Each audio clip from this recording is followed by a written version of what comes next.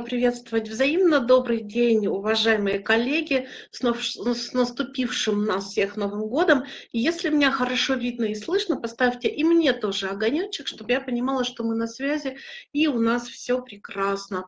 А пока начнем знакомиться, пару слов о себе для тех, кто еще а, со мной не встречался. Меня зовут Мария Токмянина, я живу и работаю в Екатеринбурге, а, психолог, тренер подростковых групп, практикующий психолог и автор многочисленных курсов, развивающих психологических, которые э, ну, можно, можно купить и использовать для своей пользы. А сегодня мы с вами поговорим об очень интересном вопросе финансовая грамотность для дошкольников.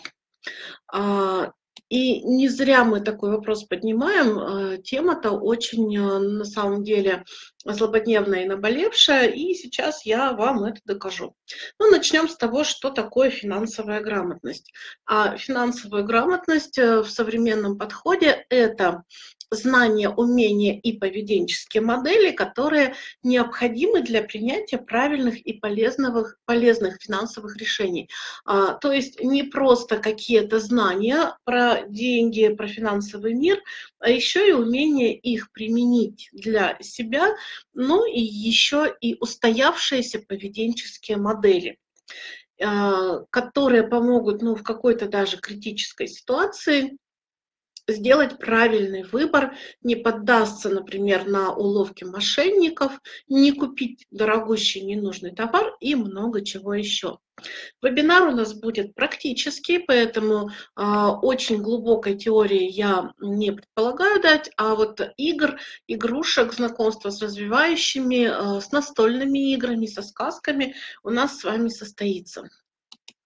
Ну и э, что еще очень важно сказать в начале? То, что низкая финансовая грамотность, э, которая э, сформирована у ребенка и перешла с ним вместе во взрослую жизнь, это прежде всего низкий уровень жизни, это закредитованность, это беспомощность перед мошенниками и само ощущение того, что жизнь не удалась, а, что жить страшно, что жизнь, э, нет уверенности в том, что эм, жизнь продолжится, хорошая жизнь, да, и, наверное, вы встречали людей, которые все это транслируют, причем это люди разного возраста. Кто таких людей встречал, поставьте еще огонечек, ну и можно написать какую-то обратную связь э, о том, что вы с таким тоже встречались может быть, какие-то интересные истории расскажете. Чат я читаю, а, и на вопросы в чате я стараюсь отвечать.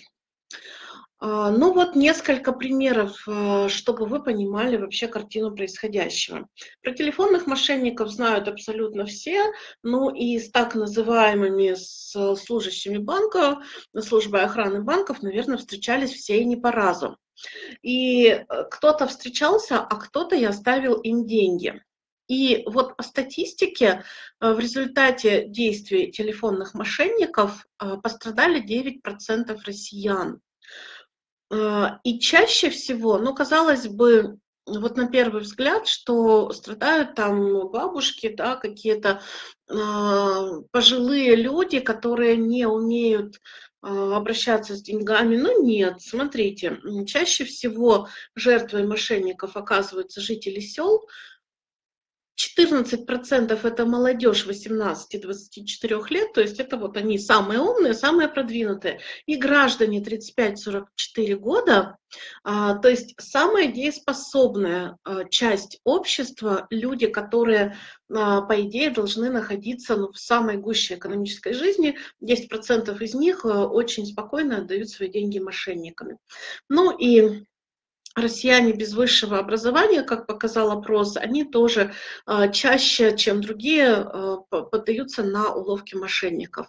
И обратите внимание, что это официальная статистика, то есть 9% это те, которые дошли до полиции, а сколько не дошли, ну вот никто не знает. Ну и статистику слышала вот по своему региону, по Свердловской области, в прошлом году э, телефонным мошенникам оставили 40 миллионов рублей. Это опять-таки только официально официальная статистика. Ну и отношение к кредитам. Смотрите, тоже э, очень невеселые цифры. На начало 2020 года, ну это вот двухгодичной давности статистика, россияне должны банкам 17 триллионов рублей. Это не выплаченные кредиты, а это значит, что страдают не только банки, а сами люди, которые живут в положении должника, а это очень и очень неприятно. Ну и каждый десятый заемщик берет кредит, чтобы перекрыть следующий. Видимо, каждый десятый наш гражданин живет таким образом, берет кредит, закрывает следующий и так далее. Ну и возраст 28-32 года э, самый проблемный. Опять-таки это люди, как вы понимаете, в полном расцвете сил, но тем не менее у них есть долги перед банком, и э, большинство должников как раз вот в этом возрасте. Вот, а, о чем нам говорит такая статистика? О том, что а, вообще экономическая грамотность довольно-таки низкая, и это не просто а, статистика, а это жизнь каждого человека, и детки, которые сейчас у вас обучаются и воспитываются, через ну, буквально 10-15 лет будут дееспособными взрослыми, и им жить самостоятельно, и самостоятельно разбираться с финансовыми вопросами.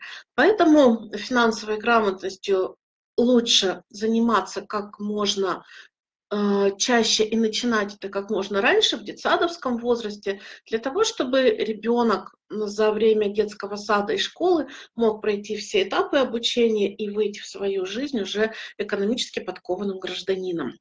Ну и что такое финансовая грамотность? Это, в принципе, э, такой очень большой блок представлений и знаний, и для того, чтобы каким-то образом э, это свести в некую систему, я воспользовалась идеей пирамиды.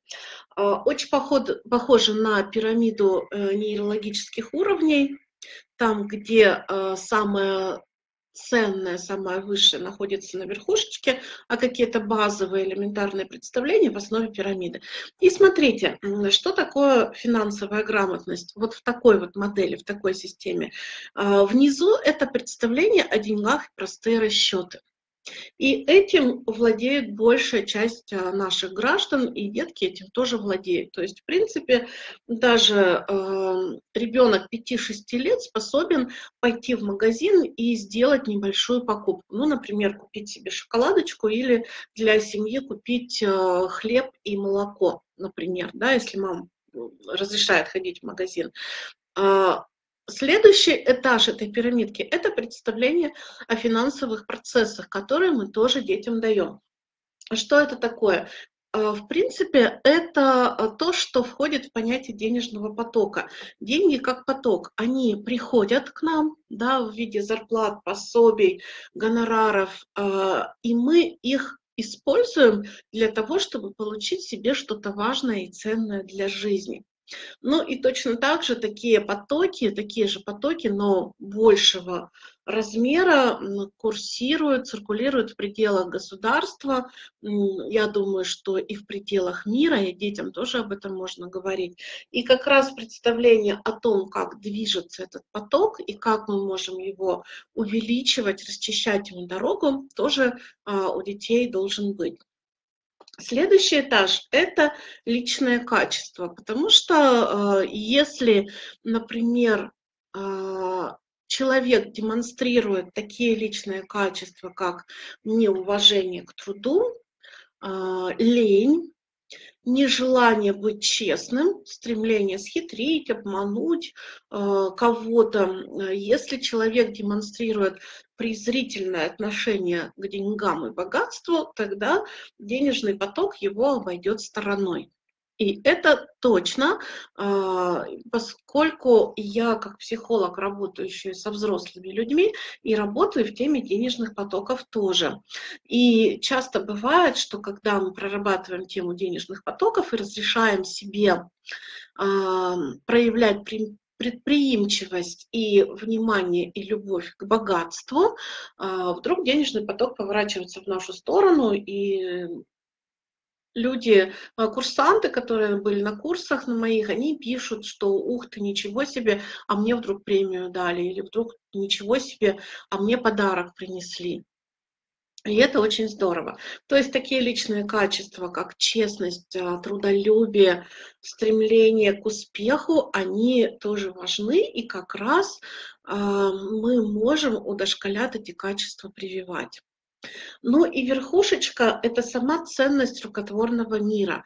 Вот сейчас э, кто-то может возразить, и, возможно, у кого-то возникнет раздражение, потому что долгое время э, у нас, ну, как бы вот внутри общества витала такая мысль, что есть материальное, есть духовное. Духовное, оно а, это нечто высокое, да, а материальное это вот низкое. Материальные цели считались какими-то нехорошими. А, и вот это неуважение к вещам, не только к деньгам, но и к вещам, да, к, к накоплениям, а, к какому-то а, неденежному богатству, оно тоже может разрушать нашу финансовую жизнь. Ну и простой пример, допустим, из детской жизни, да, забыл велик на улице, велик попал под дождь, все заржавело, и теперь нужно тратить время, чтобы перебирать э, детальки, а возможно еще что-то докупать, да, или нес рюкзачок, потерял его, и теперь нужны деньги для того, чтобы этот рюкзачок купить заново. Вот такие простые примеры, а, на которых мы тоже можем детей воспитывать. Ну и что входит в понимание финансовой грамотности для дошкольников? Что мы можем рассказать деткам в 5-6 лет? Прежде всего мы э, их знакомим с понятием труд. Что такое труд? Это работа, это профессия, да, а, это то, что делает каждый взрослый человек, и ребенок тоже может сделать а, уже, ну, по мере своих сил, хотя бы какую-то домашнюю работу. Ну, и здесь мы тоже можем ввести сразу же такие понятия, как продукт труда, товар и услуга. И детки все это хорошо понимают.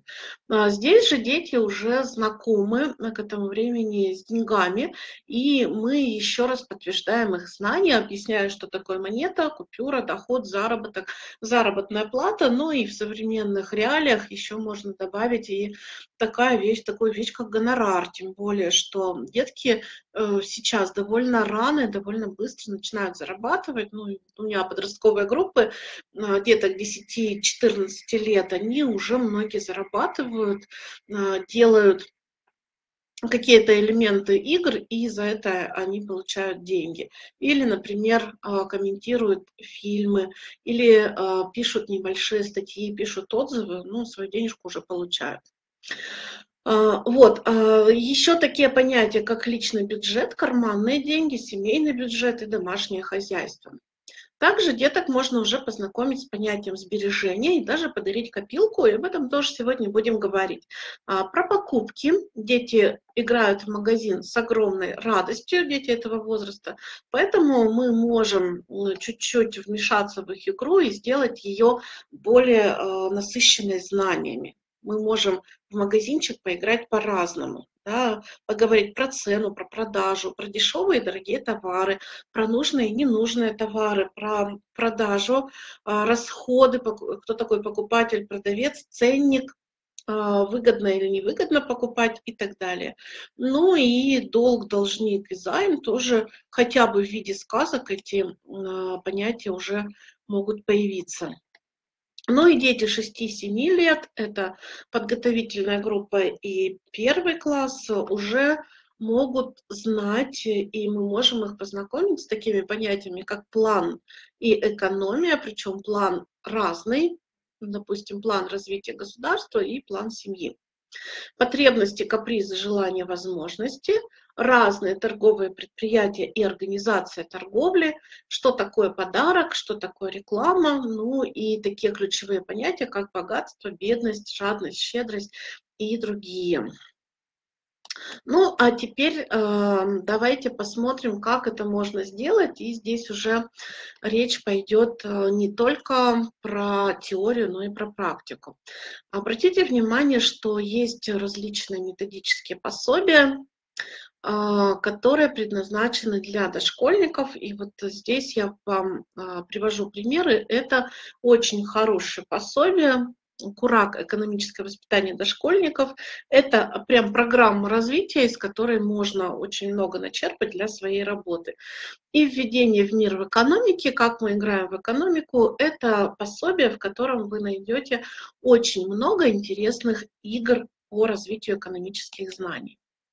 Ну и, конечно, я не могу обойти эту книгу. А, эта книга а, на самом деле большое событие в мире детской литературы пес по имени Мани или иногда переводят пес по имени Деньги. А, эту книгу написал бизнесмен, не профессиональный писатель, а профессиональный бизнесмен. То есть тот человек, который вращается в мире выгоды, пользы, а, вложения, получения прибыли и при этом находит время для того, чтобы радоваться жизни и еще и писать такие чудесные, невероятные книжки. В этой книге раскрываются секреты управления э, деньгами, и книжка написана в виде приключенческой истории, как однажды к ребятам, которые, как все детки, имели много желаний и мало доходов на то, чтобы свои желания исполнять, прибежала собачка по имени Мани, и собачка-то оказалась финансовым гением, и постепенно, шаг за шагом, а, учила детей тому, как нужно обращаться с деньгами. Но немножко э, личного. Я эту книгу прочитала своим детям, когда э, младшему ребенку было 7 лет, и он после прочтения через два дня заработал свои деньги э, очень просто. Когда ко мне пришла в гости подруга, и нам нужно было с ней проговорить часа два. Он сказал, я могу посидеть с вашим малышом за такую-то сумму. А, подруга сначала немножечко удивилась, но потом поняла, что это очень здорово, и мы спокойно поговорили, а ребенок заработал первые деньги. Поэтому книга очень полезная, и э, в детском саду, в школе, в семье ее можно с детьми читать и применять. Очень правильная книга. А, Светлана, я думаю, что вы пишете именно про эту книгу. А, ну и теперь пойдем по нашей пирамидке сверху вниз и начнем с того, что мы будем говорить о ценности рукотворного мира. Ярослава, смотрите, вы можете скачать целую презентацию, и не надо а, делать скрин с телефона, можно расслабиться, смотреть, слушать, а презентация у вас будет. И насколько я понимаю, ее еще высылают в рассылке, так что точно она у вас будет, не переживайте. Итак, ценность рукотворного мира. Это знакомство с миром вещей, это основы бережного отношения к вещам и уважения к труду. Как мы можем э, решить эти задачи, как мы можем с ребятами об этом поговорить? Э, первое, и это то, что укладывается в любую программу, и поэтому это не будет каким-то исключением из программы или дополнительной нагрузкой. Это знакомство с профессиями. Мы так или иначе ребят с профессиями знакомим. Да, ведь э, мы рассказываем про то, какие бывают профессии, какие есть средства труда у каждой профессии, какие э, продукты или услуги каждый человек производит. Нужно только немножко немножко-немножко расширить эм, этот вариант. То есть, э, допустим, в представлении о профессиях еще раз ввести, подчеркнуть понятие товар и услуга, и дети могут сказать, кто что производит, да, кто производит товары, кто предоставляет услуги и представление о разных видах оплаты за труд. Ну, первое то, что труд оплачивается, да, а второе то, что это может быть по-разному в виде зарплаты, прибыли, гонорара и так далее. То есть мы немножко сюда добавляем финансовых знаний. Вопрос в чате, как бы ребенок потом не сказал, я подмету пол или помою посуду за такую-то сумму. Очень важный вопрос а, часто родители вопрос задают, вообще платить или не платить детям а, за какие-то вот услуги. Здесь мы проводим очень четкую границу. Есть дом и семья, и внутри семьи а, отношения не денежные, да, А, то есть э, внутри семьи есть общий кошелек, есть общие семейные финансы есть общие семейные э, обязанности, которые каждый выполняет внутри семьи. Вот. Э, каким образом зарабатывать? Мы можем разделить, например, точно есть семейные обязанности у ребенка, да, э, и он берет на себя, например, ну вот тот же самый пол и посуду, и это не оплачивается, потому что это ну, труд такой вот общий в семье. Но если, например, ребенок договаривается с соседом, да, или там с каким-то не очень близким родственником, а, о том, что он сделает какую-то работу и попросит за это деньги, мне кажется, это нормально. Точно так же, как взрослые, да, мы в семье друг другу не оплачиваем наш труд, а договариваясь, например, с а, друзьями, с приятелями, с посторонними людьми, мы уже ведем денежные расчеты.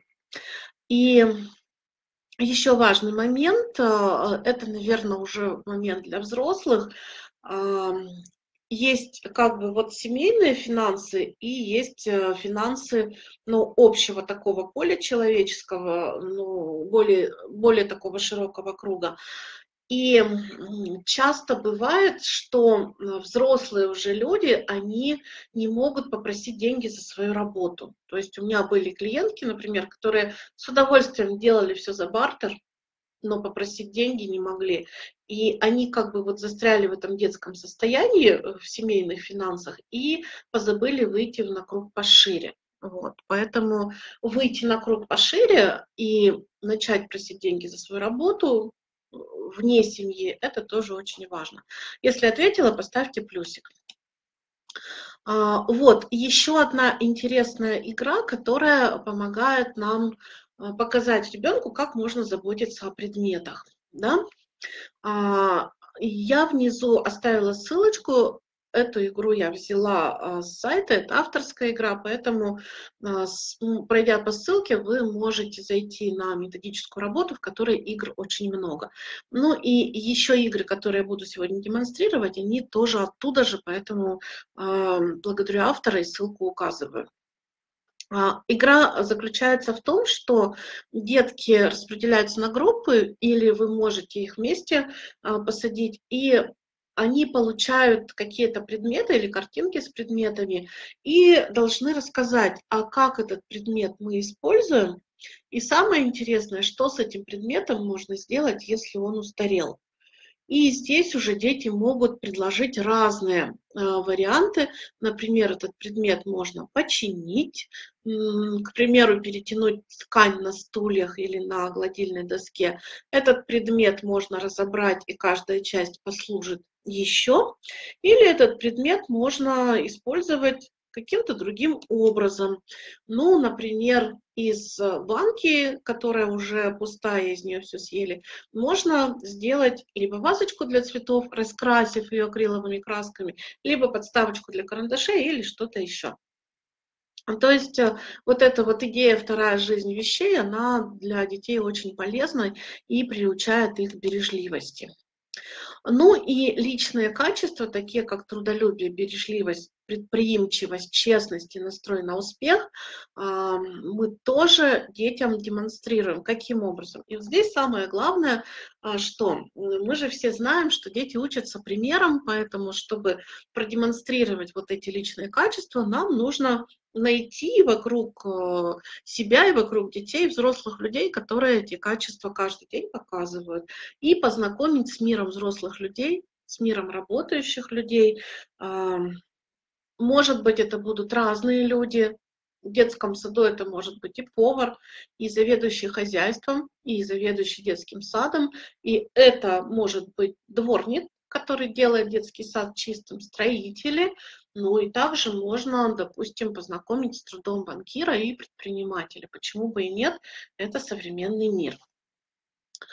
А, вот. Ну и еще один канал, по которому мы можем детям а, вот эти вот знания принести, это, конечно, сказки. Сказки дети обожают, но вот здесь э, нужно очень тщательно сказки выбирать.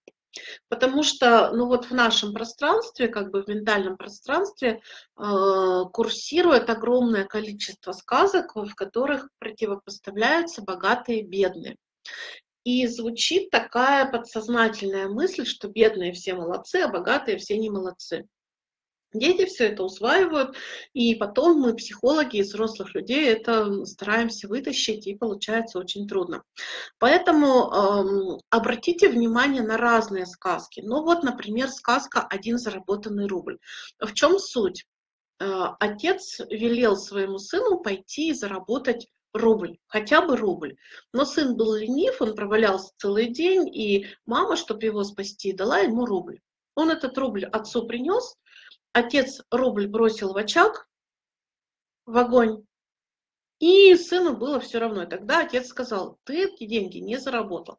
На следующий день сыну пришлось идти и зарабатывать свой рубль. Он принес его отцу, и когда отец этот рубль кинул в очаг, то сын начал громко ругаться и вытаскивать свои деньги из очага обратно. И тогда отец сказал, да, теперь я вижу, что ты эти деньги заработал. Вот, видите, здесь противопоставление богатства, бедности нет, зато есть противопоставление лени и а, работы, и есть хорошая идея о том, что когда человек зарабатывает деньги, он их, а, к ним относится очень бережно. Ну и замечательная сказка, где богатство зарыто. Кстати, эта сказка у всех народов есть э, с разными изменениями ситуация очень знакомая по сказкам. Отец умирает, а отец был богат, и сын у него спрашивает, «А, папа, а где твое богатство? Ты же его нажил, ты же его передаешь по наследству. И отец ему говорит, покопаешься в огороде, найдешь свое богатство, э, лисьи шкурки на забор развесишь, будет тебе богатство, плуг посеребришь, будет тебе богатство еще больше. Ну и сын пошел сначала серебром покрывать плуг, пошел к кузнецу, потом купил лисьих шкур и развесил на забор, потом выкопал ямы на своем огороде, и все, богатства не было. Ну и нашлась э, вдовушка, которая его научила тому, что нужно вспахать землю, посадить зерно, и будет богатство, сходить на охоту, эм, набрать лис, лисьих шкурок, и тоже будет богатство. Ну, а плуг будет посеребрен от того, что он не стоит, не ржавеет, а работает. Ну и э, сказки я вам привожу, э, примеры именно хороших сказок. И когда вы их будете читать детям, их можно обсудить кто главный герой, а, что главный герой думает о богатстве, как ему добиться успеха, почему вот эта стратегия не работает, например, стратегия пролежать на диване, и потом мамочка деньги даст, а другая стратегия работает. А, здесь вопросов и ответов может быть много, и каждая сказка – это а, отдельная беседа о том, как жить богато в этом мире. Э, следующее. Э, опускаемся на ступеньку ниже в нашей пирамидке и говорим с детьми о финансовых процессах и управлении финансами. Это как раз э, идея про финансовый поток. Ну и, собственно говоря, здесь игры, которые выстроены на идее финансового потока, мне кажется, наилучшее решение. А, обратите внимание на игру «Монополия свинка Пеппа». Она адаптирована для дошкольников. А, от четырех лет дети могут в нее играть. Там легкие задания, но тем не менее там есть представление о том, что деньги появляются, их можно заработать, что деньги тратятся и что деньги копятся. И это первый шаг к освоению денежного потока. Ну и э, денежный поток для детей. И обратите внимание, что эта игра а, начинает издаваться с 2017 года. До этого был денежный поток 101, версия для детей. И вот эта вот версия с 2017 года, она более новая, и она абсолютно другая что там есть, какие акценты есть. Во-первых, там а, есть очень уважительное отношение к школе и вообще к образованию, то есть это подчеркивается. И если там участник не пошел в школу, то он может попасть в лапы всяких чудовищ и мошенников, поэтому лучше в школу ходить. Вот подсознательно такая мысль деткам в головы вкладывается. Второе, э, в этой игре есть современные способы зарабатывания денег, э, которые могут использовать детки. Даже младшие школьники и, возможно, даже дошкольники. А здесь и блогинг, и видеоблогинг на YouTube, э, например. А здесь как раз создание всяких элементов игр. Ну и вот все, о чем я говорила, то есть легкие способы заработать в онлайн-пространстве, которые открылись для детей, там они в этой игре есть. Ну и еще делается акцент на двух качествах. Первое – это умение сотрудничать, то есть если участник умеет сотрудничать и объединять ресурсы, то у него больше э, шансов на победу. И предприимчивость тоже, если человек предприимчивый, то он, скорее всего, в этой игре победит. Вот такая чудесная игра, она стоит недешево, но э, сделана очень хорошо, она достаточно долго вам прослужит и очень хорошая. А дальше спускаемся на ступенечку ниже и будем говорить про детей и деньги. Ну, дети вообще а, деньги замечают достаточно рано. То есть они, конечно же, ходят с мамами в магазин и видят, что мама достает из кошелька бумажки и обменивает их на товары. И вот эта идея, то, что деньги можно обменять на все товары, у ребенка в голове появляется достаточно рано, наверное, лет с двух, с трех даже. Ну и вы знаете, что детская валюта, самое главное, это листики, а, она никогда не переводится, поэтому вот эта идея, что деньги как листочки, их много, у детей в голове может быть. И таким образом теряется одна из частей денежного потока. Да, то есть э, идея того, что деньги не приходят просто так, их с кустика не сорвешь, их нужно заработать, то есть обменять на свой труд, на свои знания, на свое время. Вот. Эм, и как раз вот с этой идеей мы и начинаем знакомить детей с деньгами. Мы говорим о том, что деньги – это средство обмена, здесь же будет уместно поговорить про историю появления денег, тем более, что это очень интересная история, и там много-много разных сказок и рассказов о том, как деньги были в виде ракушек, например, или в виде огромных камней, которые никто не мог поднять, но тем не менее это была такая вот монета. А, мы можем проговорить а, номиналы купюры монет и предложить детям простые расчеты. А, ну и очень важные вещи, которые мы должны объяснить. Вот именно вещи, которые ценностные. Первое, что деньги сами собой не появляются, их нужно заработать. Хорошо бы к этому процессу подключить родителей, чтобы родители с детьми тоже поговорили на эту тему, что деньги зарабатываются, они не материализуются, их э, получают за работу. Ну и мы объясняем, как можно заработать деньги и как деньги к человеку приходят в зависимости от его деятельности. Дальше, второй момент. Сначала зарабатываем, потом тратим. Вот если ребенок с детства запомнит эту истину, тогда, возможно, у него в взрослой жизни закредитованности не будет. Это очень большая беда на самом деле а, для семей. То есть а, хорошая идея, из тумбочки можно взять только то, что в нее положили. Сначала зарабатываем, разумно сберегаем, а потом можно и тратить. Следующая мысль. Стоимость товара зависит от его качества, нужности и от того, насколько сложно его произвести. А, без этой мысли вы можете увидеть в детских играх, что дети, например, конфету покупают за 5000 условных э, листиков, да, а машинку или целую машину за 10 тысяч условных листиков. Ну и здесь уже можно тоже чуть-чуть мешаться аккуратно и рассказать про ценность, про то, что конфета послушает, послужит ровно 2 минуты, да, пока ее кушают, а машина может служить десятилетиями. И это очень сложный механизм, и для того, чтобы машину сделать, работает огромное количество людей. Вот, а дальше что цена товара – это количество денег, которое нужно отдать, вот, но это еще и цена труда, плюс это цена товара, ну, в зависимости от вашей ситуации.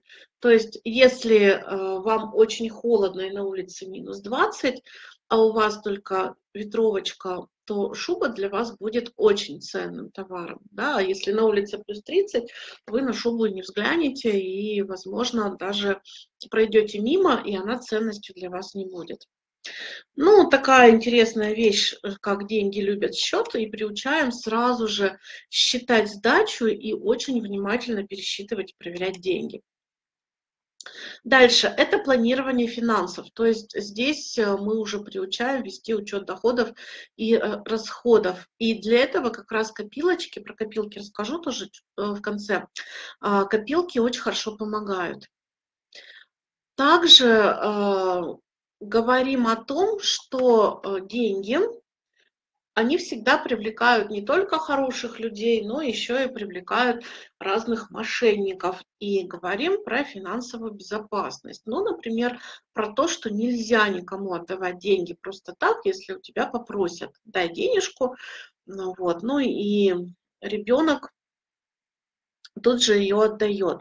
А, знакомим детей с таким понятием, как кража и воровство, к сожалению, это есть, ну и дети живут не в теплице, а в реальном мире. Ну и про мошенничество тоже можно сказать. Ну и самое главное, а, не все покупается, то есть есть ценности, которые мы не обмениваем на деньги. Да, это наша жизнь, это семья, а, близкие люди, и это не купишь и есть сферы жизни, в которых денежные расчеты исключены, и там действует любовь, благодарность и близкие отношения. А, ну и материал, который вам поможет эм, ребенка познакомить вот со всеми этими вопросами. Прежде всего хочу обратить внимание на мультики, потому что какой же ребенок не любит мультиков? А, есть э, очень классные, очень хорошо сделанные э, методологические мультики, которые помогают нам ребенка познакомить с этой сферой. Обратите внимание, фиксики, история вещей про деньги, ссылка будет в, э, в презентации действительно, то есть просто по ней перейти и открыть мультик. Смешарики, финансовая грамотность – это целая серия мультиков, но ее, наверное, чуть-чуть попозже, после того, как вы освоите тему денег, потому что там и про э, страховку, и про кредиты, и про займы, вот все такие вещи достаточно сложные, но а, объясняются простым языком на простых примерах из жизни смешариков. История, как появились деньги, очень интересный мультик.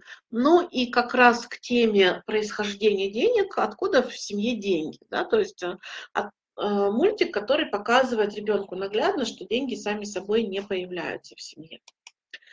А, дальше есть еще простенькие и достаточно недорогие настольные игры, которые ребенка вводят в мир денег. Ну и прежде чем малыша отправлять в магазин за хлебом и молоком, например, можно поиграть вот в такую игру, которая называется «Купи слона».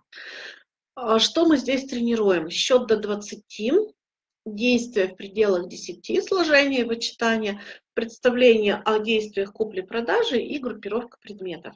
Там есть карточки овощей и фруктов и есть кубики. Ну, например, когда выпадает определенная цифра, ребенок должен продать э, те овощи или фрукты, которые этой цифре соответствуют, и получить за них деньги. Тут уже купля-продажа, ребенок копит деньги, считает, ну и выигрывает тот, кто первым заработал 10 рублей. Игровых рублей, конечно. Очень простенькая игра, бесконечно детьми любима, повторяема сто раз, и потом можно отдать ее уже, чтобы сами играли, поэтому обратите внимание на ее. Так, еще какую-то хотела предложить. Ага, она, наверное, будет чуть попозже. Но и упражнения, а, упражнения тоже с того же сайта, ссылку я давала в начале, а, их там много. интересное очень упражнение, которое мне понравилось. Упражнение «Покупка». Здесь мы тренируем э, сам вот этот процесс похода в магазин. То есть здесь есть картинки, ребенок должен разложить их по порядку. Что происходит? Он приходит в магазин, э, он э, покупает продукты, он идет на кассу э, и потом идет домой. То есть раскладывает действия так, как они должны быть разложены. Ну и тоже интересное упражнение, которое можно включать в занятия по математике, упражнение размен. Берем настоящие деньги от 10 до 1 рубля и предлагаем деткам собрать из этих денег разные суммы. От 1 до 10, а если детки умные, то можно и до 20 и выше, там уже эту игру можно развивать. То есть здесь э, мы обучаем детей счету, ну и одновременно даем элементарное представление о том, как действуют деньги. Тоже интересная игра, довольно сложная по уровню, то есть это не та игра, которая у вас появится первой в курсе финансовой грамотности, но она очень полезная. Смотрите, здесь мы говорим о потребности и полезности товара. И с ребятами говорим о том, э, какую пользу каждый товар приносит. Смотрите, а, выкладываются карточки товаров, любые, их можно найти в любой игре в интернет. А, и говорим детям, например, а что ты купишь в первую очередь, если ты очень хочешь кушать? Или что должна купить семья, которая ждет гостей. И вот здесь уже вы увидите, что по-разному да, будет ребенок покупать. Если очень хочет кушать, тогда, возможно, это будут какие-то продукты, которые быстро насыщают, но неважно, насколько они будут красивыми. А если семья, которая ждет гостей, то здесь еще и другие качества продуктов должны быть. Ну, например, а, продукты деликатесы, красивые продукты и так далее. А, что может выбрать мама, которая выбирает подарок для дочки, или папа, который желает купить спортивную одежду? Тоже это будут разные подходы и разные критерии полезности. А, и такая же игра, а, тоже очень интересная, много-мало. Здесь мы уже ребят знакомим с понятием спрос. Что такое спрос, что кому нужно? Ну, например, на тех же карточках вы можете предложить выбрать а, детям товары, которые нужны семье, в которой есть мама, дочка и бабушка. Или семье, в которой есть папа, мама, сын. Понятно, что здесь будут спрос уже на мужские вещи, да, может быть, на какие-то элементы спортивных игр и так далее. А если папа, мама, дочка и четыре сына, а если семья, семья живущая на крайнем севере, или семья, живущая на юге, и вот здесь в детской фантазии есть где разгуляться, и они будут говорить, что северянам обязательно будут нужны шубы, теплая обувь, может быть, обогреватели, что-то еще, а южанам зонтики от солнца, например, купальники, солнцезащитный крем и так далее. Таким образом, через конкретные примеры дети начинают закреплять в своем сознании, что такое спрос, полезность и нужность. И, возможно, когда они в следующий раз пойдут в магазин, удивят маму тем, что будут говорить о том, что, мам, вот это полезно, а это не полезно, давай покупать не будем. А, ну и тоже очень интересная игра «Осознанный выбор». То, э, цель какая? Уметь приобретать товары осознанно. Смотрите, э, мы выкладываем несколько карточек с товарами и ребятам предлагаем сделать вот, что выбрать то, что им хочется купить. А потом они тянут карточку с денежкой, и у них оказывается определенная сумма. И вот на эту сумму нужно выбрать товары, которые наиболее важны в данный момент. Но здесь я тоже э, вам советую уже не входить э, в какие-то вещи только материальные, потому что иногда даже когда мало денег, покупка билетов в кино, она а, очень сильно помогает, и вдруг в семье все налаживается. Деньги – это такой поток, а, в котором кроме материального есть много еще и психологического. Вот, эм, но тем не менее. Ну и немножечко хочу поговорить про младших школьников и предложить игры чуть посильнее. Ну, а, а те, кто работать с дошкольниками, тоже, пожалуйста, нас сейчас не бросайте, посмотрите этот материал, потому что у вас есть еще наверняка такая форма работы, как а, детско-родительские встречи. И вот когда будут детско-родительские встречи, посвященные финансам, эти игры и игрушки вы можете использовать. Тут родители своим деткам помогут. Что же мы требуем от э, младших школьников, что они должны знать? А, первое – это умение пользоваться терминами финансовой грамотности, понимать их значение, это все то, что мы а, с вами проговорили. Второе. Решать задачи, связанные с экономическими понятиями. И рассчитывать бюджет в малых объемах. Ну, то есть хотя бы свой собственный бюджет. А, ну и в основном в начальной школе, конечно же, финансовая грамотность входит как составляющая в уроки математики. Например, в первом классе можно детей познакомить с а, монетами достоинством до 10 рублей. Да? Во втором классе здесь уже будут монеты и расчеты до 100 рублей, в третьем классе 1000 ну и здесь уже э, вполне себе возможно, что третьеклассники и сами могут заработать такую сумму, точно такие примеры у меня есть, но и распоряжаться такой суммой могут, например, их, вы, им выдали тысячу на то, чтобы они покупали э, продукты питания для своей семьи. Ну вот, не основные, а, допустим, то, что мы покупаем каждый день, там хлеб, молоко, кефир, и ребенок а, по дороге из школы домой зашел и купил эти продукты на всю семью. А, почему еще хорошо подросшим деткам давать большую сумму? Он учится не тратить все в один присест, учится сберегать, хранить и распределять. Это тоже очень важно. В четвертом классе мы уже говорим про миллионы, ну и в четвертом классе можно говорить и про семейный бюджет, и даже про бюджет семьи, э, страны, деткам тоже это будет очень интересно. Обратите внимание, что есть э, учебно-методический комплекс «Финансовая грамотность». Э, авторский коллектив я здесь написала, и там есть и рабочие тетрадки, и методички. Поэтому, если вдруг вы задумаете такой факультатив, то они вам очень сильно помогут. Ну и настольные игры, а, вот здесь, э, в этой возрастной группе их больше, и они невероятно хороши. А, очень часто на тренингах, ну, дети у нас прям выпрашивают настольные игры, связанные с деньгами, с финансовыми, с финансами. Ну и поскольку у нас э, часть занятий проходит в самоуправлении, то в экономические игры играем. Ну вот самая любимая мной, честно, это игра Мачикора, город мечты. А, там есть, в принципе, все про финансы. Там есть деньги, там есть предприятия, причем предприятия разных групп. Сырьевые, а, ну, то есть там то, что можно получить с чего, например, растения, фрукты, уголь, сырье, дерево и так далее. Есть перерабатывающая, есть отрасль то, что называется социальное, это редакции газет, а, налоговая, стадионы и так далее. Есть предприятия питания и много-много всего. То есть, в принципе, здесь вся экономика. И дети учатся считать, э, и самое интересное, что в этой игре есть несколько игровых стратегий.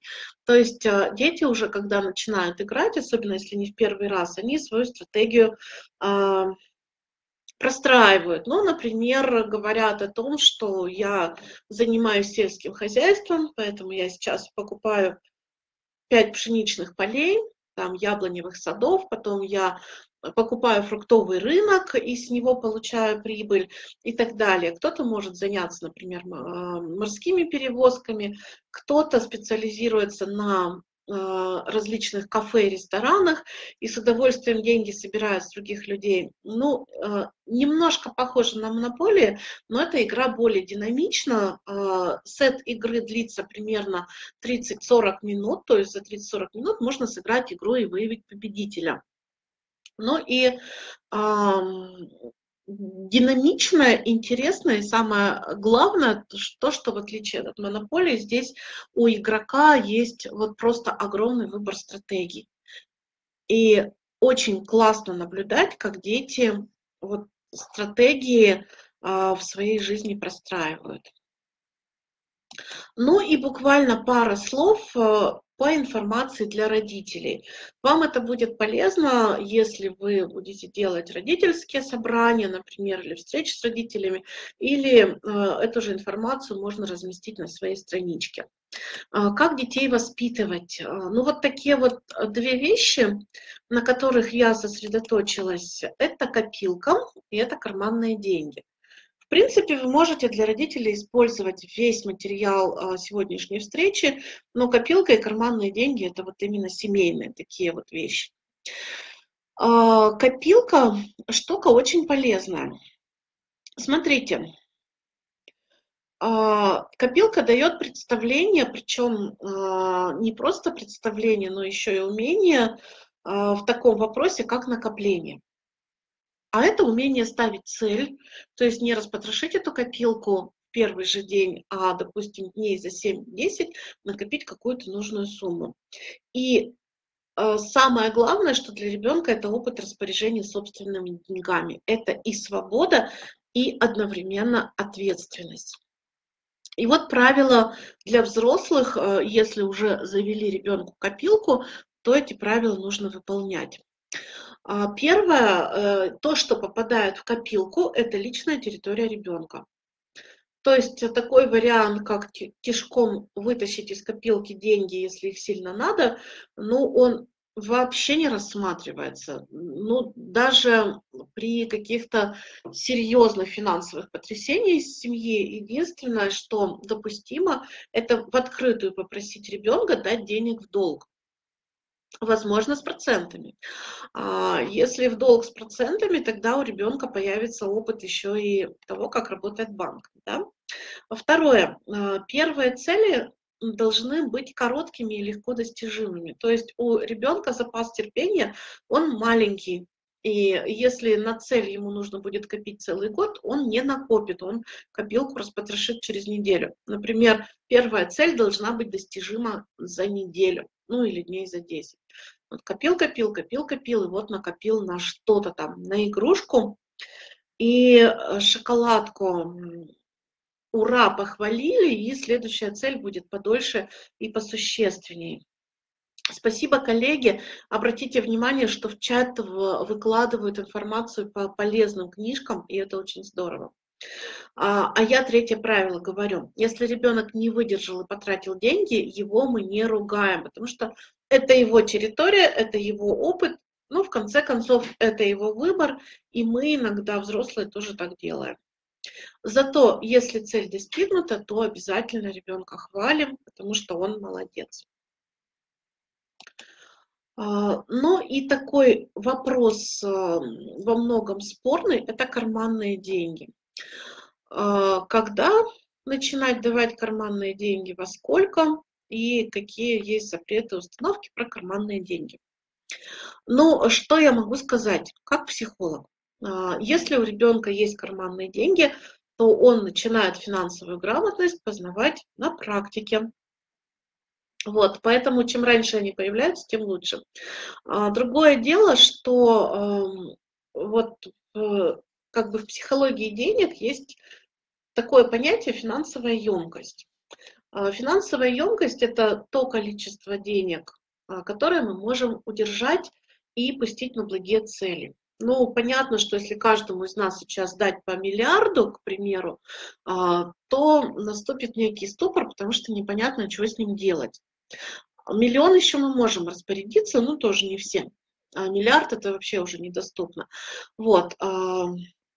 Ну и финансовая емкость, э, она растет как бы вместе с человеком. То есть если ребенок, дошкольник, может спокойно э, распорядиться, допустим, сотней рублей, да, а, то ребенок, младший школьник, уже может распоряжаться тысячей. Ну, мои, допустим, детки, которые ходят на тренинг, э, у них в распоряжении там до 10 тысяч рублей в месяц. У всех по-разному, причем бывает, что у 12-летних нет карманных денег, и у другого такого же ровесника уже 10 тысяч, которые ему выдают там на продукты на месяц для семьи. А, вот, поэтому мы смотрим на финансовую емкость и постепенно повышаем количество денег, которые находятся в распоряжении ребенка. А, дальше. Мы не диктуем ребенку, куда эти деньги девать. Ну, вообще. И самое главное, а, карманные деньги а, в качестве наказания нельзя забрать. Если очень хочется воздействовать именно вот через деньги, тогда можно сделать основную премиальную часть. То есть есть основа, которая ребенку попадает всегда в руки, да, чтобы он не натворил, а есть премиальная. Вот премиальная выдается, если ребенок был молодец какое-то время, там неделю или месяц. Заметьте, что здесь нет наказания, да, а здесь как бы мотивация к, мотивация к достижению цели, к тому, чтобы получить вот эту премию. Ну, и я знаю, что э, в некоторых семьях детей э, награждают дополнительными деньгами за хорошую учебу. Ну и э, в каждой семье своя ситуация, и иногда бывает, что это очень полезно. Допустим, у деток, которым трудно себя собрать, дети с гиперактивностью, вот э, там часто этот вариант работает очень хорошо. Ну и да, карманные деньги не рычаг давления и не роскошь. То есть это то, что есть у каждого человека, и мы считаем, что это обучающий инструмент для формирования финансовой грамотности. Вот, а, это то, что про семейные отношения к деньгам. Ну и осталось оставить свои контакты. Сразу честно скажу, что я не знаю, как вам получить сертификаты.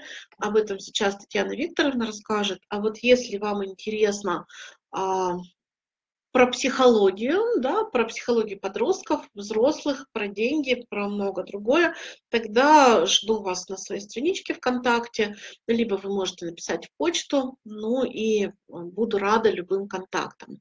Ну и спасибо вам большое, на этом я заканчиваю, но готова отвечать на вопросы, если они есть. Давайте проверим блок вопросы, там нету.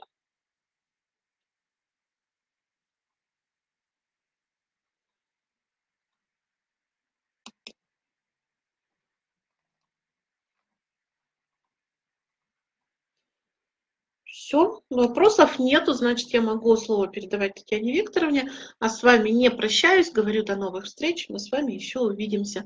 Всего доброго и до свидания.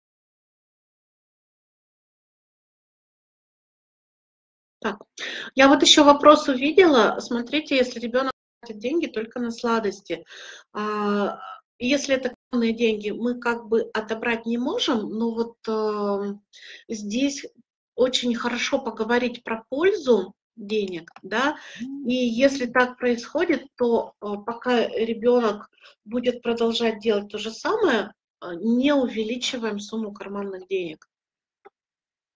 Вот.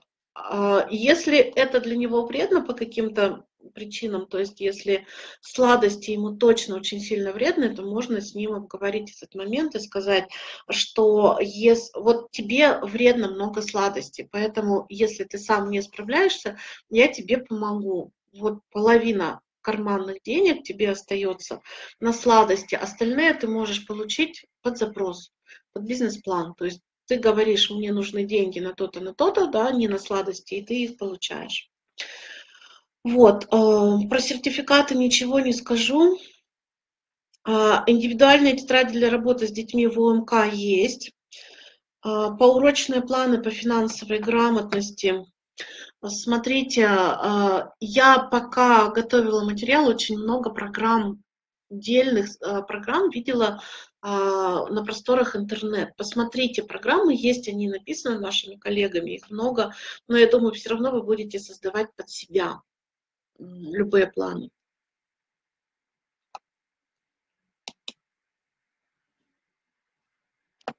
Как научить как научить копить? Э, ну, вот здесь, э, достаточно сложная, ситуация. Во-первых, обратите внимание на ваши финансовые стратегии в семье, и вы можете, а, обратите внимание ребенка на то, что вы деньги откладываете. А можно с ним поиграть в банк. То есть, например, у него не 1, а 2 копилки. Из 1 копилки он тратит, а 2 копилка волшебная. Если он туда складывает, например, 100 рублей, то через неделю там оказывается 110 рублей. Вот это тоже иногда работает. Всё, я ухожу из эфира. Э, Татьяне Викторовне отдаю